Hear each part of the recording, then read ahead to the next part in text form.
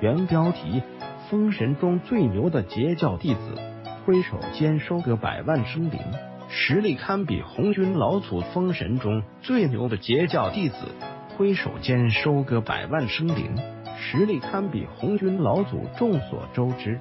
在中国现存的神话小说体系中，《西游记》的地位可以说是举足轻重，其次便是《封神演义》了。我们知道，在《封神演义》中，不但囊括了中国神话体系中的大部分神仙，同时也为我们描述了一场酣畅淋漓的封神大战，一场以元始天尊为首的玉虚宫和通天教主为首的碧游宫之间的恩怨纠葛。相信很多熟悉《封神演义》朋友们的印象中，以通天教主为首的碧游宫门人在武功修为上似乎会弱于元始天尊的玉虚宫门人。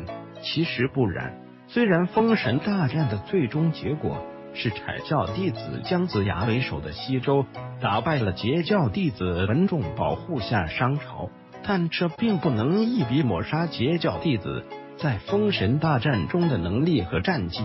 今天小编就来给大家说一位封截教弟子，他堪称是封神中最牛的截教弟子，挥手间收割百万生灵，实力堪比红军老祖。此人不是别人，就是通天最信任的弟子吕岳。或许很多人在听到吕岳这个名字的时候，多多少少会感到有点陌生。但是如果要说起他在封神大战中的战绩，绝对会让很多人胆寒。首先，我们先来看一下《封神演义》中对吕钺的出场描述：穿大红袍服，面如蓝靛，花似朱砂，三目圆睁，其金眼蛇，手提宝剑，有三头六臂之能，还有擎天印、瘟疫种、定型温幡，以及让各路神魔胆寒的指温剑等法宝。这里面提到了吕月瘟疫中和指温剑。这两种法宝的确给姜子牙福州灭纣制造了很大的阻力。吕月原本是一个化外之人，在一个名叫九龙岛的地方修仙练道，若无意外，原本就可以得道成仙。不料不听申公豹挑唆，身犯杀劫，被卷入了所谓的封神大战之中。在商军大元帅苏护带兵镇压西岐的时候，吕钺带领手下的四大弟子周信。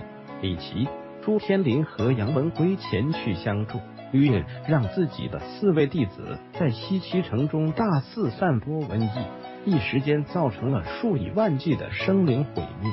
不但西岐城中的老百姓遭到了瘟疫的折磨，就连姜子牙手下大将杨戬、哪吒和黄天化等众多阐教弟子也没能逃过一劫，统统被瘟疫折磨的苦不堪言。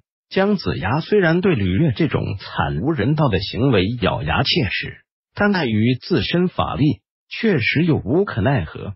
最终还是元始天尊请来了十二金仙中的玉鼎真人和黄龙真人，以及火云洞三圣，才得以最终帮助姜子牙打败吕钺。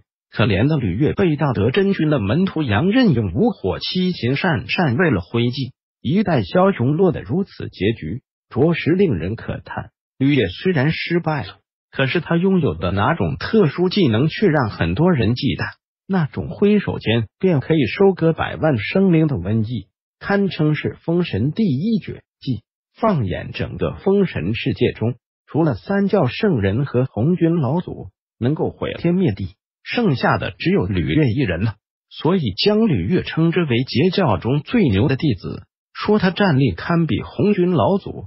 的确是实至名归。比较幸运的是，虽然吕月生前作恶多端，残害了数百万的无辜生灵，死后还是上了封神榜，被姜子牙敕封为温皇昊天大帝。我们又习惯了将他称之为瘟神鼻祖。相信当很多人听到“瘟神”这两个词之后，都会害怕的绕路走吧。返回搜狐，查看更多责任编辑。Thank you.